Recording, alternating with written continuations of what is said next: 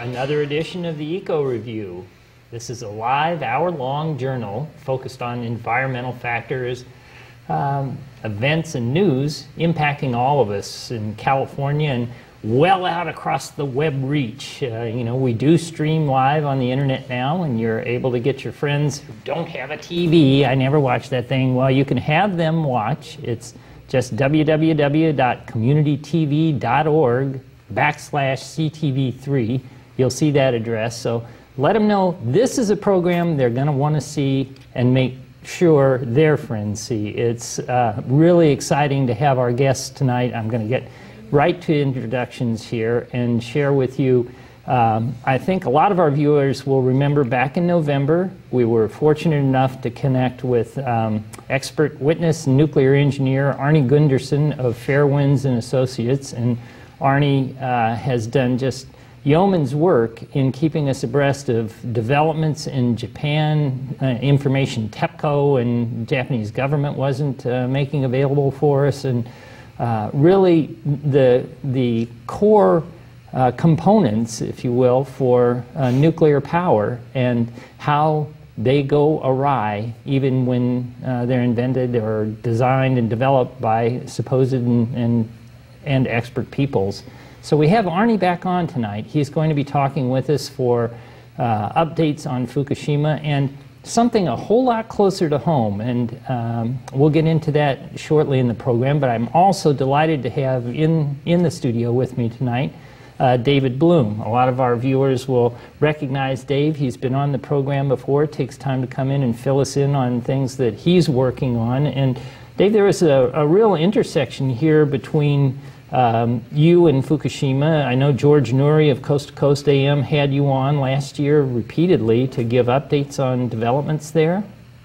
Well, yes, Tom. Uh, we scientists, you know, all kind of uh, get on the phone and talk to each other, and my uh, colleagues in Japan were saying, "You guys are not hearing the whole story." So, you know, I was uh, doing my best to transmit on the ground information to the American media, which you know was kind of negligent in getting the word out to people. And you know, there is there is no over the fence. You know, everyone is downwind of everyone else, and so you couldn't really say that oh, it's Japan's problem because if it's Japan's problem, it's our problem. Winds circle the globe, and so do the oceans. So, you know, it was important for us to know what really was going on there and what wasn't being told either to the Japanese or to the Americans.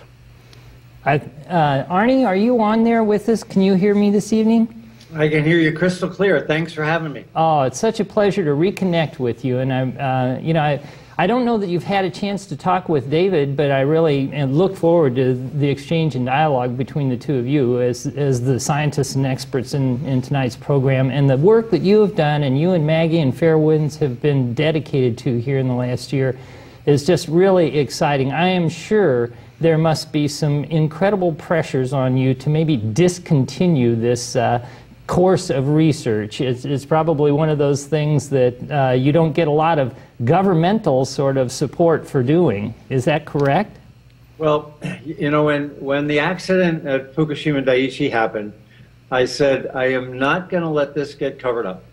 Um, and, uh, you know, our business, the, the, the billable portion of our business dropped way off but I just thought it was so important for the world that just had the story had to come out and had to come out consistently for a long enough period of time uh, because yeah you're right mainstream media was uh, was covering it up. And you know it's interesting because I think there is an intersection between what David and I are doing. The uh, the book I wrote on um, in Japanese in Japan is called Fukushima Daiichi the Truth which talks about the accident and the future which talks about the fact that there are alternatives and we don't have to build more nuclear plants to satisfy our energy demand. So, yeah, I'm looking forward to this. Oh, excellent. Well, let's get right to uh, some of this. And I'm going to remind our viewers real quickly you'll see the phone number up here. It's 425 8844 and area code 831. Uh, we do welcome or invite your question or call, but um, Arnie, what have you seen recently? Because Dave and I uh, uh, have both seen different pieces of news about Fukushima. What, what's most uh, do you think is be, being uh, covered up the best and is most important for us to recognize? Is it is it all done? Everything clean up now? The uh, on the on the Daiichi site, the, the worst problem is Unit Four, and the fuel pool issues there. Um, through two Japanese ambassadors, uh, they've finally gotten some worldwide attention. Uh, Bob Alvarez, Gordon Edwards, and I have been working with uh, Ambassador Akio Matsumura for over a year now. And finally, uh, the world understands that uh, the, the, Unit 4 um, actually uh, still has the potential to create an even worse accident than what we experienced a year ago. So now Tokyo Electric is finally beginning to say um, what we've been saying now for over a year, and that's that you've got to get the fuel out of Unit 4 just as quickly as possible. Unit 3 isn't too far behind. It's kind of interesting. Nobody talks about Unit 3, but it had a one third full core offload, so there was uh, quite a lot of hot nuclear fuel in Unit 3's fuel pool, too. So, no, the, the site isn't out of the woods. But the, the other problem, of course, is uh, Tokyo Electric doesn't have the money, and the Japanese government is drizzling it out, as opposed to admitting that this is going to be a half a a half a trillion U.S., which is something on the order of 30 trillion yen or something like that. It's a big number. Um, the um, uh, instead of admitting it and, and, and having the Japanese people know that in the long haul they're going to spend an enormous amount of money cleaning this up, they drizzle it out every six months. They say, "Well, here's another uh, 20 or 30 billion. but in fact, it's going to be a huge amount of money that the Japanese are going to have to eat. And the last thing is the um, contamination throughout Japan um, on the ground. Mm. We're finding um, house contamination in the form of household dust at extraordinarily high levels. Um, people are sending us their vacuum cleaner bags from, from Fukushima Prefecture. That's brilliant. As far as a 100 kilometers or 60 miles away, we're finding tens of thousands of disintegrations per second in a, in a kilogram vacuum cleaner bag. So household dust, and of course the internal exposure that comes from it, uh, is something that the Japanese government is not talking about either. Yeah, it, it is electrifying to think that uh, this has been dismissed by the media. You don't see that as a concern anywhere, but uh, there were a couple of things you mentioned earlier uh, to me uh, today about uh, effects of earthquake, perhaps where on on the reactor uh, itself, and I'm also thinking about something that Dave told me the other day, which was some a story about a boat recently up on uh, that had come up on Vancouver, Vancouver Island. The yeah, British Columbia coast, yeah. Well, go ahead with the. I'll talk to you about the, the condition of that building. Um, the the unit four, you know, it, it's obvious it's a mess. I mean, if you look at it, it, it blew up. Um, and Tokyo Electric has been saying no, it's just fine. Although just recently they um, they've acknowledged that it's a uh, it's bulging in the middle, um, and it's interesting too because where that bulge is located uh, indicates it's something called a first mode Euler strut defect. And that means it's likely a seismic problem that came with the, uh, with the initial earthquake or perhaps one of the ones after that. So the, the net effect of this is that the, um, the building has no containment. Um, all this nuclear fuel, hot nuclear fuel, in the fuel pool and is bulging on the sides. And uh, yet, Tokyo Electric had a plan that was going to take four years to uh, uh, to remove the fuel. I mean, my God, we won World War II in less time than it's going to take them to defuel that uh, reactor. Well, you know, as Arnie points out, this pool is already showing signs of, of uh, failure. But, you know, in the United States, we have more room than they have in Japan. They have a lot of people in a small space. So when they designed that nuclear power plant, they didn't have a place on the ground to put the spent fuel or the waiting fuel in water in a pool on the ground. So this pool is over 100 feet above the ground on top of the building. Now, you got to realize that nuclear metal, you know, is incredibly dense and incredibly heavy, And um, the amount of weight up there that's being held on the racks, you know, holding all these rods up there, is an enormous amount of tonnage. And the way that they have to remove that fuel, no one really knows how to do yet because you can't ever let it get exposed to air or it bursts into flame. So they're going to have to somehow remove the racks of fuel rods, keep them immersed with a crane lifting this megatonnage of fuel rods somehow in water to get it down to somewhere that they think they can do something with. No one has ever done anything like this before. No one really knows how to do it yet. So that's why they're saying, well, it's going to take four years because we don't know how to do it yet. Sounds like we should call David Copperfield or something. He's probably got an idea about how you, you pull off a contortion like that. Is that something that you uh, that they even think about in the design stage of these plants, Arnie? Is that something that, that they take into consideration? Let's put the, the pool above ground. Is that, I mean. Well, there's um, these there's 23 plants in the U.S. that have the same problem, but the other 80 do not. So we learned this first generation plant uh, putting that, that fuel way up in the air like that was a mistake. And the remaining 80 plants in the U.S. after we built those 23 have that uh, fuel pool much much lower and in a much more protected spot. And uh, and it's actually worse in the United States because the Japanese only put seven or eight years of nuclear fuel in their fuel pool. And uh, in the States, our, our fuel pools have more than 30 years of nuclear fuel in the pool. So uh, if there were to be a problem in a U.S. pool, um, it would release even more radiation than we're afraid will come out of Fukushima. Well, you know, uh, it's interesting. We're we're sliding the U.S. story in here in a, uh, a bit, and I think a lot of people here in California, guy, it's a beautiful day. We're in summer, you know, the gardens are going, and it's really easy to get distracted at the beach or something. But um, there was two weeks ago a really interesting short little AP clip that I, I came across that was talking about, and that's actually why I wrote you, Arnie, and, and uh, was wondering if you'd be available to talk because there was this little clip I'd seen about uh, 1,200 cooling rods being uh, failing at uh, San Onofre. And um, that's where I think we, we should go maybe with the conversation. And we do have a video clip, um, a little uh, experiment that you just ran down there on site. And why don't you tell us just uh, uh, real briefly how you set the clip up, and then we'll go to the clip and share that with our viewers. Well, I, I, was hired by Friends of the Earth to figure out why these uh, these tubes inside the steam generator were failing, um, and it's it's you can see these very complicated engineering drawings and. And frankly, I thought we needed a better way of explaining what a U-tube steam generator looked like. So we put this video together on the beach and we simulated U-tubes, and I got to show how on um, how they were banging into each other and causing the problems that is happening at San Onofre today. Awesome. Well, let's go to that clip and we'll come right back to you uh, as soon as that's run.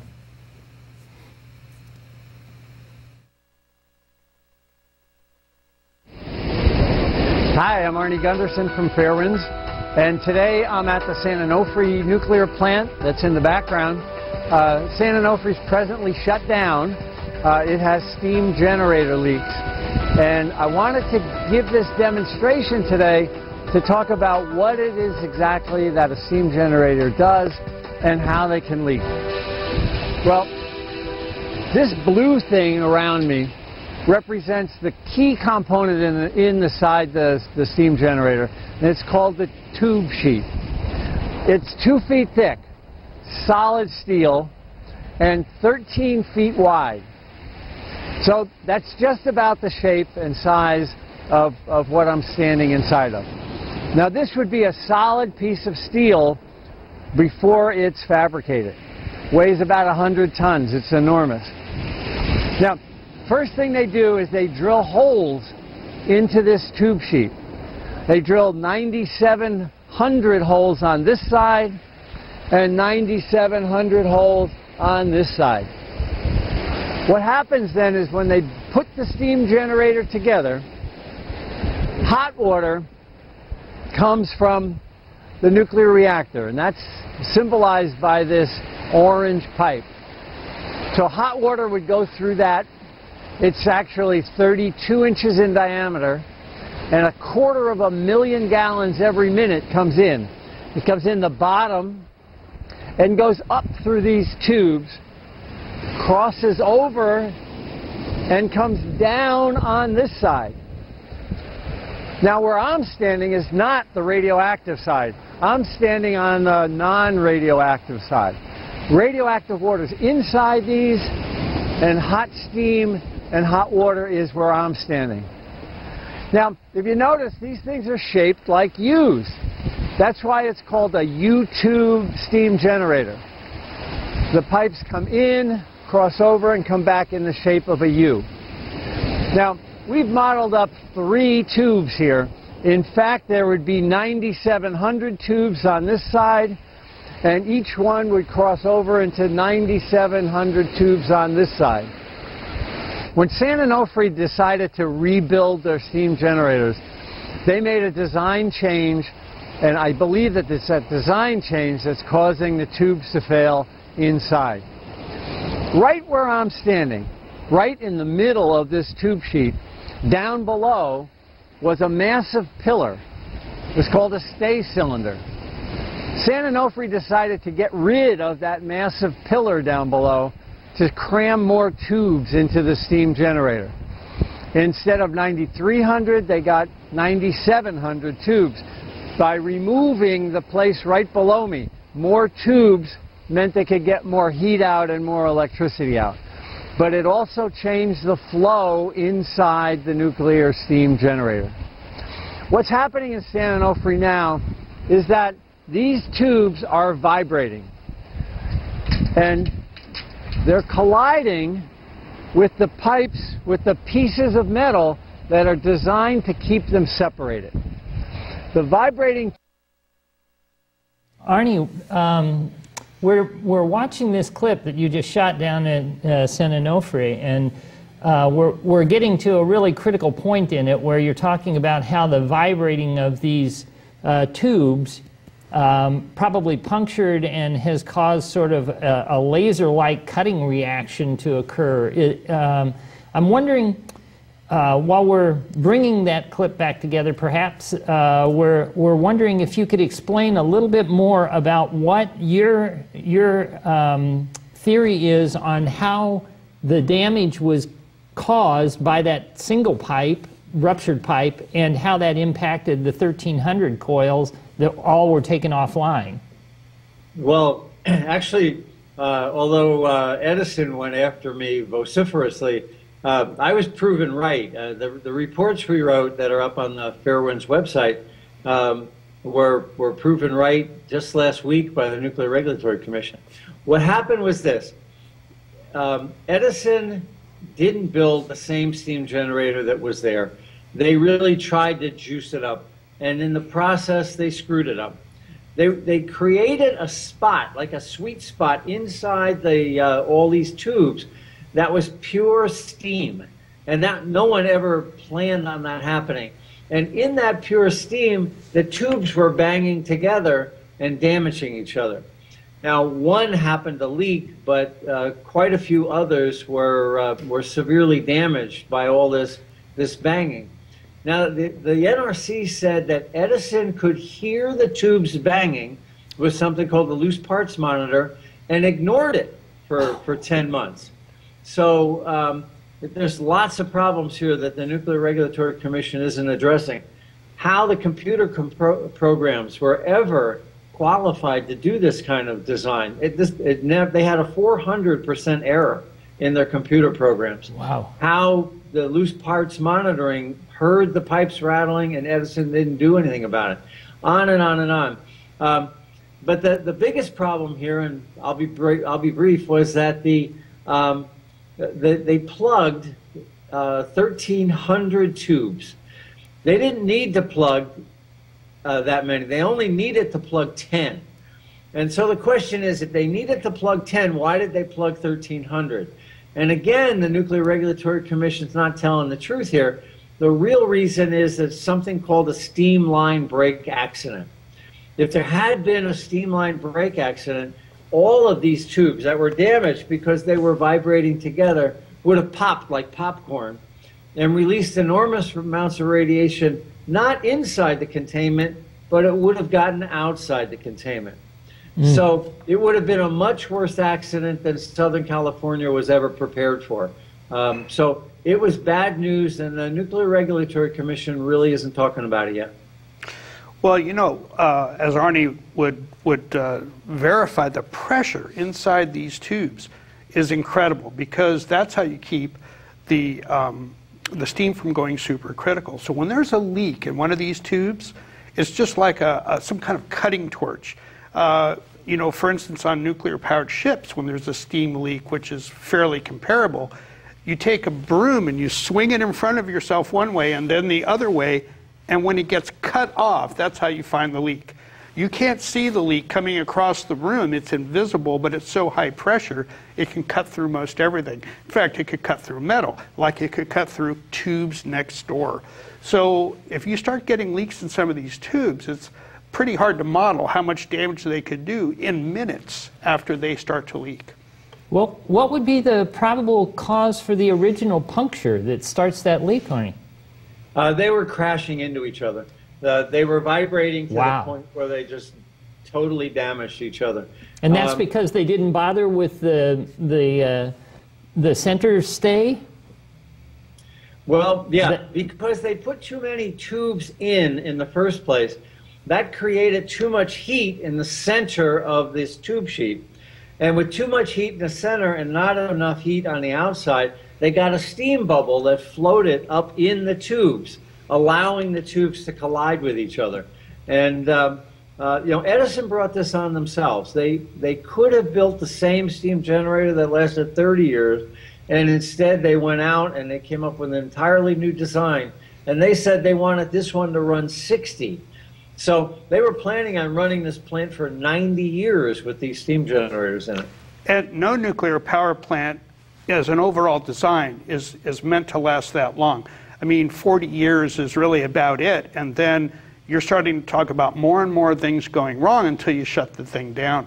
So a lot of these plants were expected to run for 30 or 40 years, and then they expected them to be decommissioned. And so it's kind of like in the case of Fukushima. Well, what are the chances of an earthquake and a tidal wave happening in the next 40 years? We'll have this thing taken down and out of here by the time there's ever a disaster. Well, you know, they've extended the licenses, extended the licenses way beyond the design life of this stuff.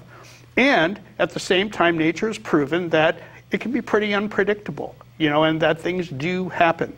Um, you know, they, we have many examples of this in the past, and um, there was one in Russia called Chelyabinsk way back in the late 50s, where uh, they had buried a bunch of waste in casks underground, but they had lost track of where they had had them. And so the heat radiating from all the from each cask caused a steam explosion, which spewed the radiation up into the atmosphere, and it rained for you know many many square miles all around it. And that area is still completely uninhabitable today. But the CIA said, oh, we don't want to tell Americans about that because they might be against nuclear power if they heard about it. So the whole, one of the biggest nuclear accidents on the planet, much bigger than Chernobyl, was completely covered up because, gosh, you know, we really need this nuclear power. Or I should say, nuclear industrialists need this nuclear power. There's, a, there's another one that was covered up by the United States government, and that was right outside of LA. Uh, right outside of LA, there was a reactor uh, in the late 50s, same time span, called uh, Santa Susana. And it had a meltdown and it didn't have a containment building. They are there. There are many square miles outside of LA that are contaminated even to this day, and they really don't know how to ever clean up that site. There's a lot of evidence of cancers uh, in the uh, surrounding communities, and again, the the, uh, the government tried for years to cover this up until about 1990, when uh, the cancers just uh, you know, just pointed a finger back toward the Santa Susana reactor. So yeah, we uh, we have a storied history of uh, uh, not telling the truth when we have nuclear accidents. Well, that's a, that's amazing. I mean, Washington State has uh, that whole decommissioned or or uh, de deactivated, I guess, plant uh, that you can't get within miles of and they're, they're still trying to figure out how they're going to get rid of the waste from the site. They can't move it. Uh, you've got what would happen theoretically if if this uh, event at San Onofre would would have uh, continued. Well, I have a comment about that, Tom, because you know they all say that nuclear power, you know, it's so great because in one station you can produce so much electricity and serve so many people. How can you compare that to any other kind of energy? But in the case of this Los Angeles plant, San Onofre, uh, it only serves one and a half million people with its electricity. But if this tube accident continued and the thing melted down and blew, it could kill seven and a half million people. So the whole myth that a nuclear power plant just puts out so much energy that it takes care of a huge part of the United States is completely a myth. More people would be damaged than the people served by the electricity in the case of San Onofre. Incredible.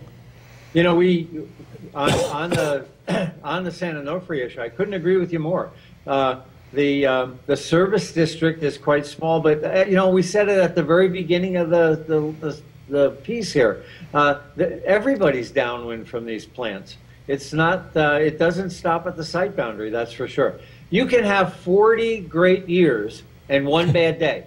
Yeah. And, Just and- takes and- one and bad day. And it, it, well, that's the thing that really irritates me is it seems like the science doesn't even try and design for that bad day. It's kind of like rather than design for it, it's it's uh, the well, let's just put the picture up in front of that window and don't look out there because you know we can't do anything about it. If that day came, oh well, you know. Well, I, I, I don't completely agree with that, Tom, because I do know nuclear safety engineers, and these guys write protocol after protocol to try to do what they can to keep these plants safe. But they're the first to tell you that this is one great big engineering nightmare. The whole thing is. It's like the purpose of nuclear power plants was originally not to make electricity, it was to provide nuclear material for our weapons program. The people who used to regulate the nuclear industry used to be the Department of Defense.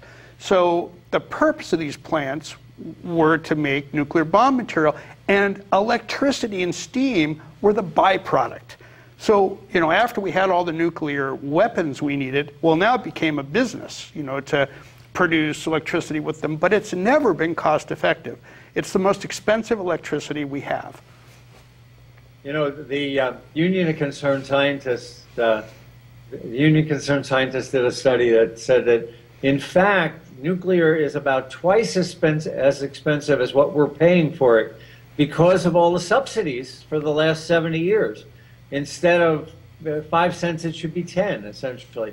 Uh, so, uh, you know, I couldn't agree with you more. If you take the subsidies off the table, uh, a lot of renewables uh, come come to the surface as being much more viable, and that doesn't even that doesn't even include you know hanging on to the nuclear waste for a quarter of a million years. Well, you mean four and a half billion years. It's only acutely toxic for 250,000, but it continues to be toxic for billions of years. But, you know, if you think about Love Canal, right, this was the chemical dump up in the Northeast. And, you know, after a while, they paved it over and it sat there for a while. And developers came along and said, wow, look at that great place to put a bunch of houses. And they built a whole neighborhood on top of it. They couldn't even keep track of chemical waste for a generation. How are we going to keep track of nuclear waste for 250,000 years? It just isn't going to happen. But the corporation that made the money on that plant will be long gone by then.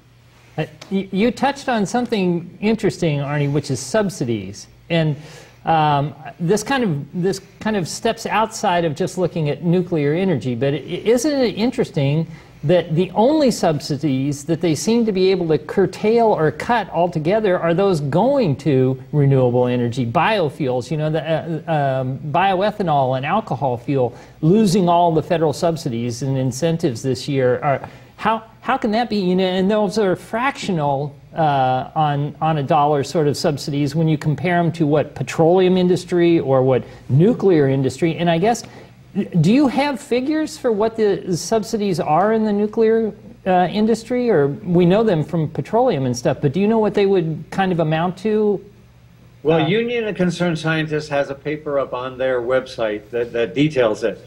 But basically, the cost at the bus bars, it leaves the power plant that we think we're paying is five cents, and it really should be 10 cents. So essentially, your electric bill, which is probably 13 or 14 cents, really should be 20 cents if we factored in all of those subsidies.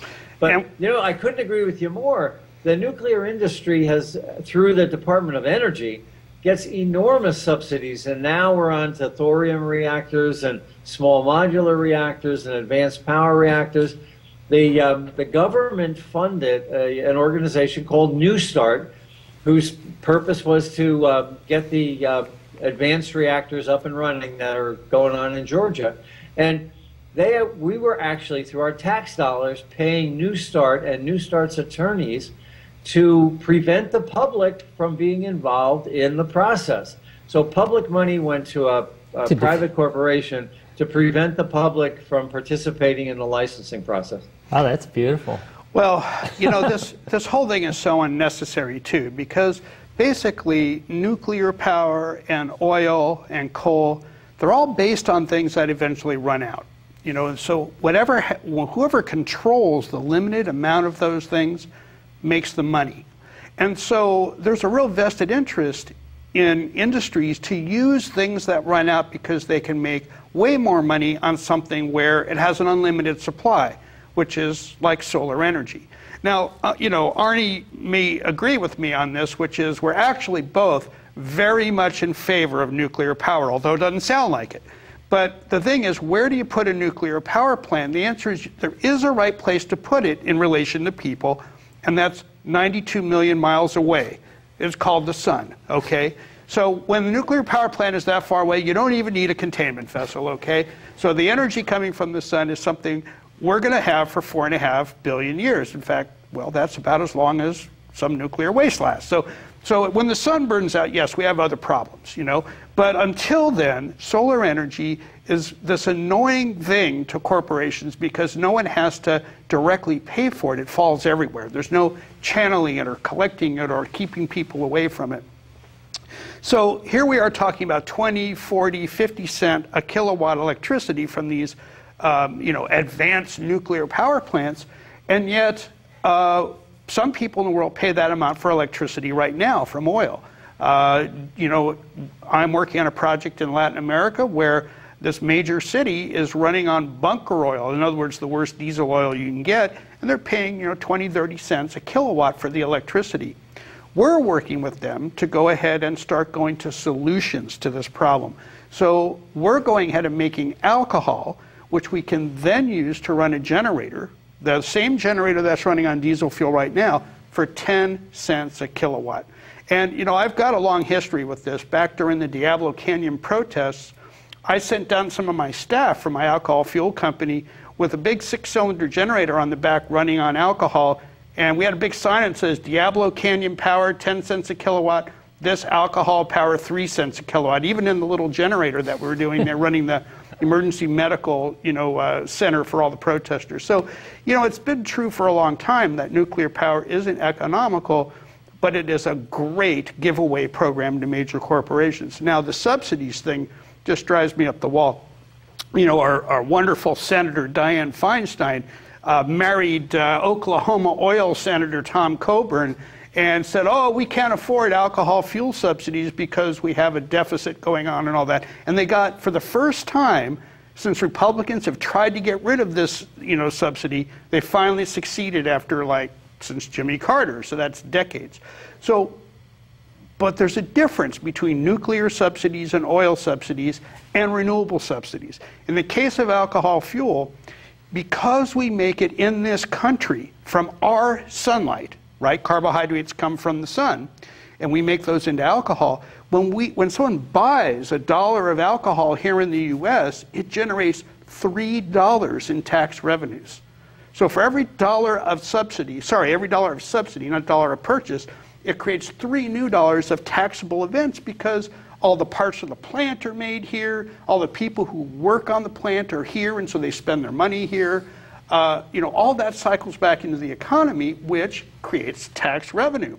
So in the towns in the Midwest where there are alcohol plants, the pools are open, the libraries are open, All the public services are happening because taxes are being paid. We, when we pay for oil or nuclear subsidies, that's money flushed down the, wherever you're flushing it permanently. It just goes away. It's like military spending. So uh, when we do renewables, we are using something that is American, sun falling on our place, and it's made by people doing work that can't be outsourced. The sunlight falls here, you know, and it's not something that we can ignore as an incredibly important part of our economy, much less, you know, ignore it from the environment. I mean, you're talking about stuff in nuclear power plants where a tablespoon of that fuel, if you distributed it equally to all the people in the world, would kill every one of them. You only need a couple of atoms of plutonium in your lungs to guarantee your death. So when we're talking about Fukushima and we're talking about what happens if the, the, the fuel from number four cooling pond falls on the ground when the building falls over and explodes into fire, we're talking about the winds of the earth carrying death around the northern hemisphere. This is, this is not a small localized event. This is something that everyone in the northern airspace has a say in or should. It's phenomenal. Arnie, are, are, um, are you as concerned? Dan Hirsch, when he was on our program back in April last year, um, was talking about the top 10 list in the US. And it's easy to get to you know, think, oh, this is Japan's problem or Chernobyl's Russia's problem. He had Indian Point and uh, San Onofre right up there at the top of the list. But are, are those things, are there places beyond LA that you're looking with concern right now? Well, I've said that there's um, the 23 nukes that are just like Fukushima Daiichi should be shut down. That, that means there's still 80 running, but those 23 are just too similar and too weak uh, to continue operation. But even uh, if you shut them down, you, you can't, it's not like a light switch, right? I mean, you can't just turn right. that off and everything's great and you can just go. Right. How do you do that? How do you well, shut them down? Well, you've got to get the fuel out of the pools and into dry cask storage, which is an air cooled storage that sits on the ground. Now, Fukushima Daiichi had dry cask storage, and all the dry casks survived the earthquake and the tsunami just fine. So, the, the biggest problem facing uh, the United States right now is to get all of the fuel out of the pools and onto the ground in these dry cask storage. The reason we're not doing it because the industry doesn't want to spend the money and the Nuclear Regulatory Commission is letting them get away with it. But to get back to your question about Dan, yeah, there's uh, in addition to the 23 BWRs that are identical to Fukushima, the two most dangerous plants in the country um, uh, are San Onofre and Indian Point because of emergency planning and their age. Uh, we've learned a lot more about seismic issues at San Onofre and Indian Point. They're both near enormous concentrations of people. So the, the, the combination of the probability of an accident being greater than we anticipated, and the population has grown around these nuclear plants for 40 years, that, that's a double whammy, and, and I don't think those licenses should be, uh, should be extended. The, the other one that scares me is down in um, uh, at the Oconee units in uh, South Carolina. Uh, right upstream from them is a uh, is a huge hydroelectric dam. Now, hydroelectric oh. dams don't fail very often, but you don't get tsunamis off of Japan very often either. And if that hydroelectric dam were to fail, um, it would produce about a 50 foot wave to come right over that nuclear uh, facility. And yet the NRC said, well, the probability of that dam failing is low, so therefore we're not going to worry about it. And you know, Dan, Dan said before, the, to my mind, the key is that engineers design really well for the design bases. Know, you tell them that an earthquake will be a seven, they'll build a plant to withstand a seven. The problem is that, that Mother Nature doesn't believe in design bases. And sooner or later, you get an eight or a nine or a 65 foot tsunami or a dam breaking, and the engineers didn't design for it, and the building fails. Well, then again, of course, Arnie, I think I think actually this is a quote from you, which is never use the word sandbags and nuclear power in the same sentence. you know, uh, but uh, you know, totally not talked about in the press were the two plants on the Mississippi River. Gosh, they're next to water again, you know, like Yeah. Fukushima, that were undergoing flooding at the same time Fukushima was in the news. And you saw pictures of the nuclear power plant inside a little dam, f- almost looking like it's floating in the river while the river had come up around it. It's like anywhere you put a nuclear power plant, it's pretty close to the water level of where it is. They don't pump the water uphill very far. You know, the plant is right there next to the, you know, next to the water source.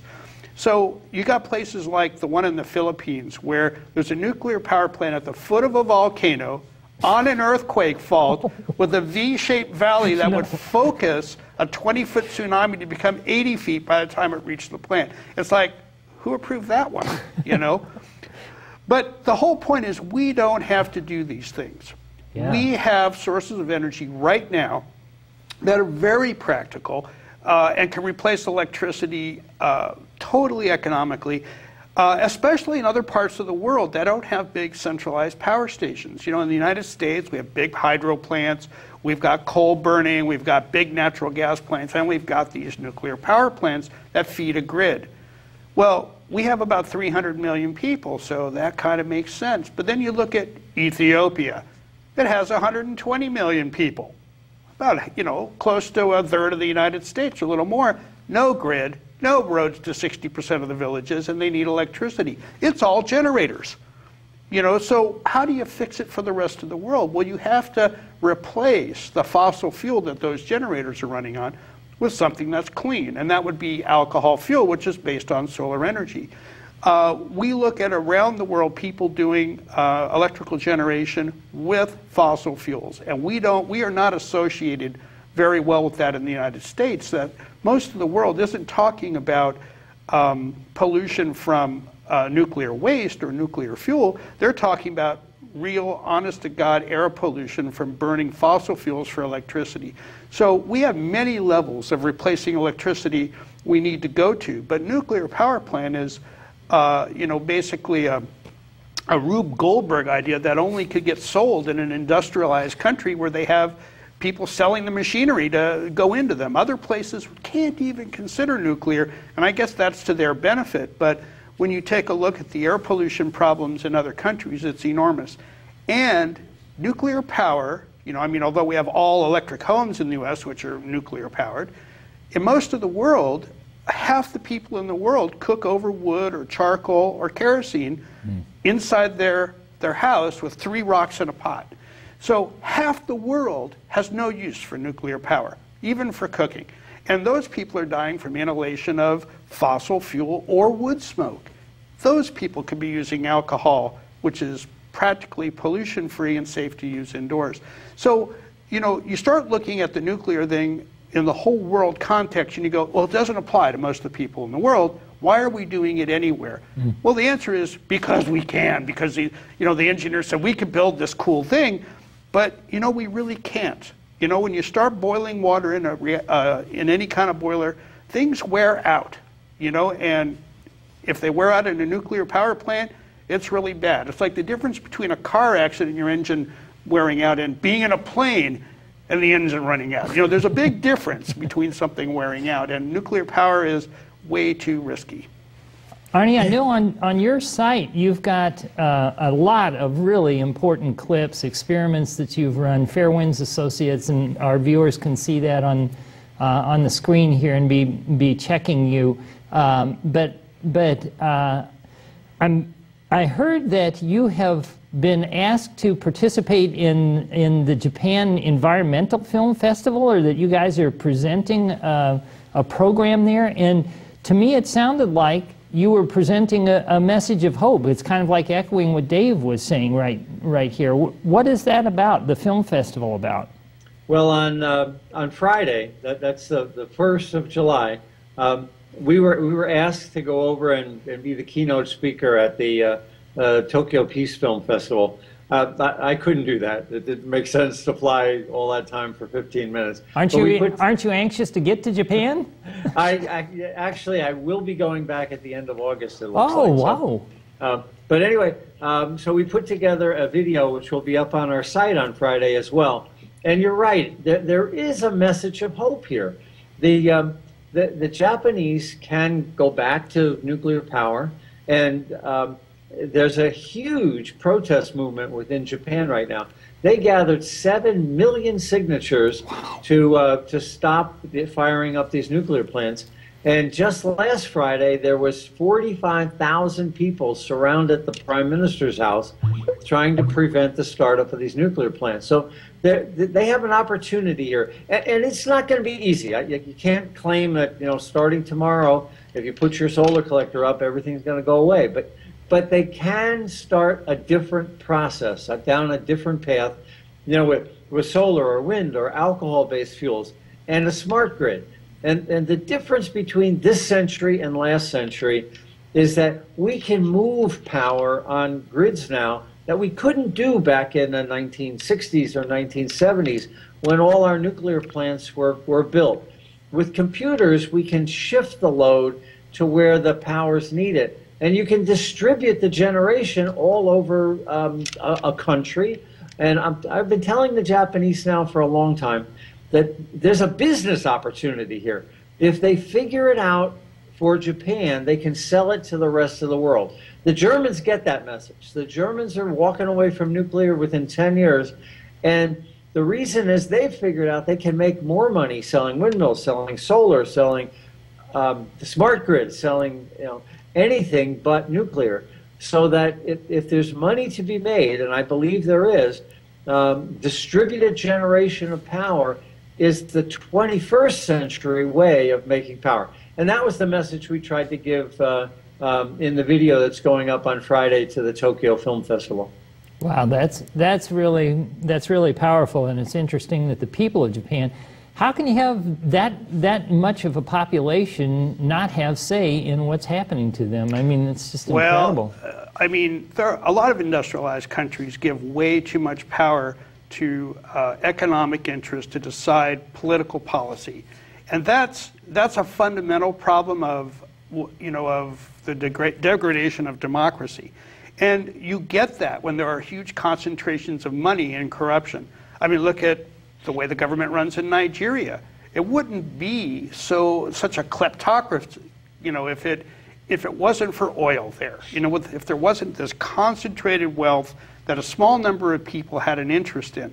So, you know, the people who have an interest in oil or coal or nuclear are small but powerful. And the population has this annoying benefit and, and advantage, but it's not as powerful as money. They have the truth, you know like nuclear power is dangerous. That's the truth. Solar power done properly is cheaper than nuclear. That's the truth. But to break through, for instance, subsidies, uh, you know, other kinds of opposition that's regulatory, uh, you know, refusing to upgrade, as Arnie said, to a smart grid that can take energy from many small sources, you know, those are things that have to be fought at the policy level. And corporations, in conjunction with some governments, have a lot of say in that versus the public. Yeah, I know. I know you're not. Um, you don't consider yourself a, an advocate, Arnie. That you're a, an expert witness and you're a, nuclear engineer, and and uh, I think this reflects what Dave's just saying. Is is that uh, the truth is what we have, and it's really great that you're presenting the truth because you don't have to advocate all you have to do is present the truth and let people kind of think this thing through because if you don't have the data and very few people do I, am so grateful that your site's there and you and maggie are working really hard to get this information like dave working uh, you know you can go to um, the iiea side dave's uh, website um, is uh, alcoholcanbeagas.com and uh, we have a lot of uh, discussion of alternative ways of making electricity refrigeration, uh, cooking, of course, vehicle power. You know, all these things can be made by, you know, solar-based fuels, and, you know, all of them are cheaper than fossil fuels or nuclear. What, what's your uh, takeaway watchword now for the next couple of weeks, Arnie? Do you think we should be concerned? Is, is San Onofre uh, done, or are we going to see something else happening there? Well, I'm, I am concerned that the Nuclear Regulatory Commission is going to allow San Onofre to start back up. Um, they have never shut a nuclear plant down permanently. Um, But the, the real solution to, to San Onofre would be to keep it shut down for a couple of years and go in and replace those new steam generators with, with new steam generators. um, but the, of course, the problem is that San Onofre committed that they weren't going to spend more than $700 million replacing them. So who's going to give them the next 700 million? Uh, Wall Street doesn't want to touch the deal. And this gets back to the subsidy thing we're dealing with a technology that, were it not for federal subsidies, wouldn't be subsidized by by you know a, a capitalist economy. So what we've done is we've socialized the uh, the risk. When these things break, we all pay for it, and and we've capitalized the gain. When they run, it's the it's the corporations that make the money. It's um, it's a lose lose for um, for the people in Southern California. I'm afraid. Boy, you know, I I ask. Uh Dan Hirsch when when he was on what um, who the good guys were in in power and who could the the public be communicating with and saying thank you to and uh, and Dan just threw his hands up and said there's there's nobody that NRC really touches everyone in power and puts the money in po political pockets and, and lobbyists and uh, I don't know, but it's really nice to have the, the concurrence between two very knowledgeable people saying that we do have ways around this. We can boil water in a better way, I think. let, yes. me, let me just say one thing. Um, your, your Senator Barbara Boxer has been um, uh, not an advocate of shutting the plant down, but an advocate of a thorough scientific process and holding the NRC's foot to the fire. Uh, so hmm. if there's one person out there in California on San Onofre, uh, it would be uh, Senator Boxer's staff that's been instrumental in just making sure that the NRC does their job. You know, we have a quick call. We have a caller online. I'm going to see if we can get them on in, in just, we're running out of time, but caller, can you hear me? We're, ju we're just getting the caller online, guys. And uh, Well, you know, while the caller's coming online, the biggest subsidy for nuclear power, of course, is the Price-Anderson Act, passed many, many years ago, which limits yes, the amount I'm of here. money Can you hear me? that. Uh, let's go to the caller. You have just a moment, please. Caller? Yes, can you hear me? Yes, you, you have a moment with us. Oh, okay. Um, wondering about uh, fish and salmon uh, and contamination from radioactivity from Fukushima um, um, what is the feeling? I know that there were tuna caught down around San Diego found to be uh, tainted, and I'm wondering what's going on. Should people stay away from fish caught in the ocean? I'll listen on the internet. Thank we you. We have just a moment. Arnie, do you have a take on that? Uh, yeah, there were uh, scientists caught 15 tuna and every tuna was uh, quite highly contaminated with cesium-134, 137. Wow. So that means every tuna they caught was contaminated, and that speaks. Those tuna were only five months after the accident, and they spawned near Japan. So they spawned in Japan, swam across the Pacific, wound up here. We caught them, and then it was about eight months before they published their data. Unfortunately. Right. So we've got contaminated tuna, and I think it's going to get worse before it gets better as citizens, we got to demand that the government test this stuff. But right now, they're on don't ask, don't tell. We, we don't ask the Japanese what's in the tuna, and they don't tell us. Dave, did you? Well, of course, uh, you know, the size of the uh, radioactive pollution from Fukushima dwarfs the pollution from the BP oil spill years, you know, a year ago. So what we're talking about is it'll take time before the radioactive particles in water will, will move with the currents to our fishing grounds where salmon and stuff will be affected. But when it does come, uh, the whole thing about radioactive particles is they're water soluble. And so they love living things. And they, if you know, you have smaller creatures eat the radio, uh, radioactive particles, bigger things eat them, bigger things eat them. Now the salmon eats the bigger thing. And all of a sudden you've concentrated by 10 times, because every level eats a lot of food, by the time it gets to you, the radiation content is huge, and tuna are enormous. So they're big bioaccumulators of metals and mm-hmm. radiation. You got to realize, though, it's not just the nuclear power plants, it's coal.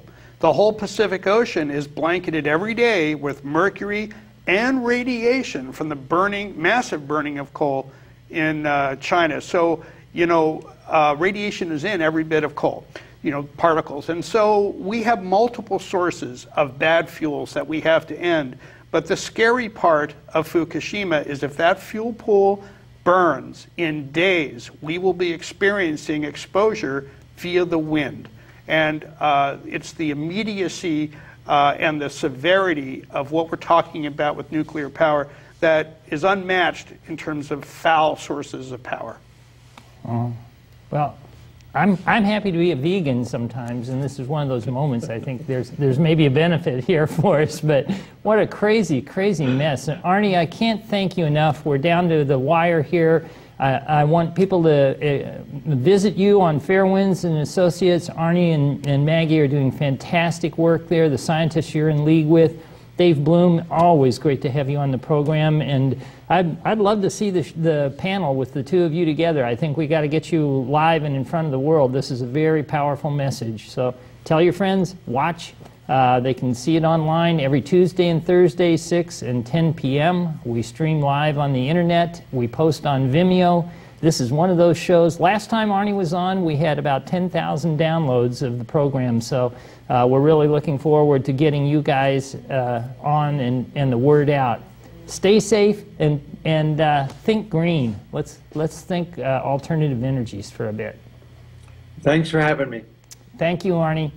Dave? Thank you, Tom.